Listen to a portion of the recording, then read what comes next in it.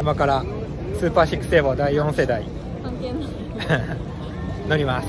いやみんないいって言うんやけどね。すごい全然違うっていう全然違うって言ってたね。情報ですけど。まあ今んとこ第2第3のねハイエンド全部乗ってる。んでうん。まあ言うて言うてね。そっからのそっからね。進化ってどうなんだろうね。結構第2も第3も良かったからうさらに第4世代どん全うなったか。然違うらしいよ。このハイエンドね。うん。行ってみるわ。け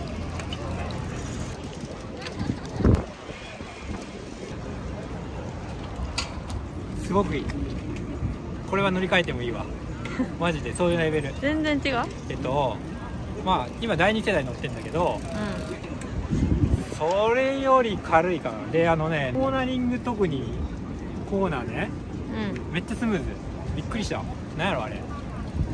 加速はもういいんやって。あの第2世代並みで第3世代があの結構130万ぐらいのやつか。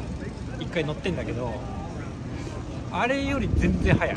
あれはちょっと加速があの第2世代よりいまいちかなと思ってたけどこれはその第2第3も全部上行くそのレベル。だから俺これほら今までディスクロードを買ってこんかったけど、ん。今のエボがよくて買い替えてもいいレベルの出来。すごくいい。てか細い多分エアロが相当ある。システムあてか6より。細っそ？う。多分システム6いらんぐらいのレベルのエアロ性能ある。ちょっと走ったけどこいたけどこいだけど。めっちゃ細いねそれ大きいんじゃないかなと思うんだけどね。結構フレームの形状的にめちゃくちゃ細いんやってだから風の影響受けづらいっていうか。あーそっか。えちょっと待って。システム？システム6っていうのはそのがエアロードエアロローあー。ドキャノンデールのだから空気抵抗が結構全然なくなったっていうか第3より。スーパーシックスはあのオールラウンドのあーオールラウンド。なのにエアロなんや。もうだからもう結構こうこうこうこうこういいね。ちょっとマニアックなこと言うん。めっちゃスムーズなのこうあじゃあ感覚でもパッてできる感じ。り曲がりやすい。うんうん。すげえスムーズ。かな。以上です。よかった？よかった。欲しい。